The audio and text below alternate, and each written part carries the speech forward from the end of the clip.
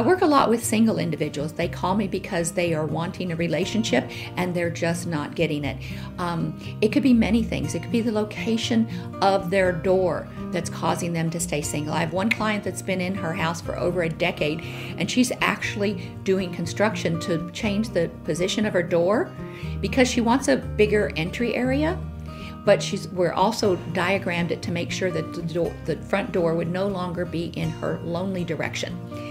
Sometimes it's the position of their beds in their lonely direction. I have one client that she'd been single for seven years living in this same apartment, and when she moved her bed into a direction that was no longer in her lonely direction, she started dating immediately. In fact, she had three dates the first week. But unfortunately, sometimes it's the position of the house. That's the one thing we can't change. So, in those cases, I, I give them all the remedies to improve their finances and their health so they can uh, get in a better situation to find a location that is not in their lonely direction using their personal diagrams. I had a couple.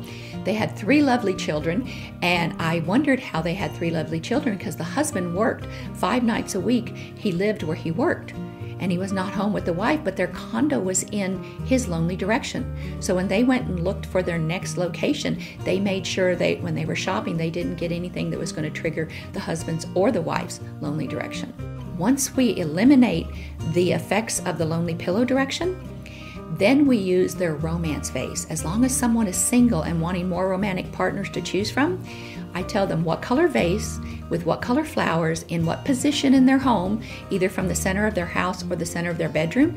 Placing that those flowers will bring them more romantic partners to choose from.